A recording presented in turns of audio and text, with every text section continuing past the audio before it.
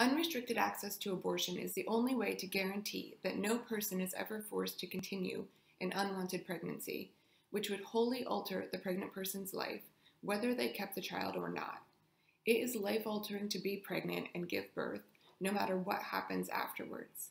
For the sake of the pregnant person, who would be utterly changed, whose health and safety would be at risk, whose dreams and education and financial security would become slippery, and for the sake of what might be an unwanted, unsupportable child, the choice to abort or continue a pregnancy must be an entirely independent decision. We must vote to protect our rights and the rights of the people we love to choose our own path in life.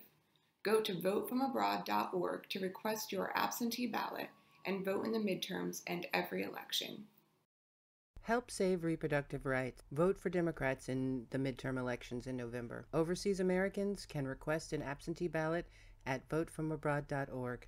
Americans in the U.S. can go to iwillvote.com to register to vote or to verify that you're still registered.